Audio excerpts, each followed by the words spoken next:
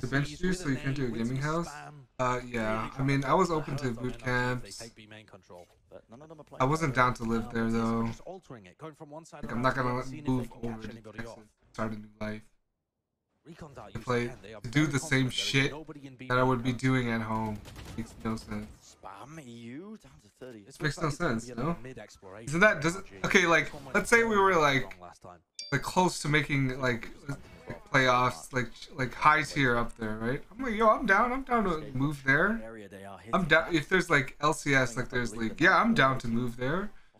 But like, if there's like so much work needed to be done in order to get there, then I'm not down. Who the fuck is down for that? What? Like, I'm open to a lot of things.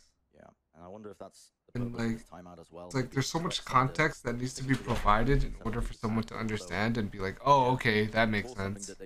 but, like the media or whatever and like the tsm release thing was like he doesn't want to move so we're fucking cutting him. and i was like bro what?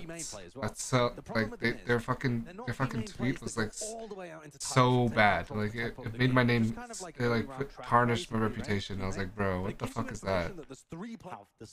would you be open to going back if they give you the chance? I don't know, man. There'd have to be a lot of like. Seven goes pretty crazy in this round.